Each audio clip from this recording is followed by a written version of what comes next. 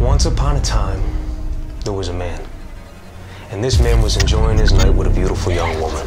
Don't move. Don't fucking move. When all of a sudden, Give me your money and be quiet. two thugs with guns jump out and mug Give me him. the fucking money, I'm not giving you anything. Give me this fucking watch. Stop it. What are you doing, man? Fuck's it look like I'm doing? What? The guy you shot, his name is Dominic Savastano of the Savastano Italian mob family. He was part of the mob. He dead now. They're coming for you. And they will find you. Nobody messes with this family and gets away with it. I want to know who shot my son! Got a problem. I already figured that part out. You got a whole lot of explaining to do, fam. OT. What the fuck you gonna do, huh? Thank God that nigga seen him a good day. There are ways to get things done, and there are ways not to get things done.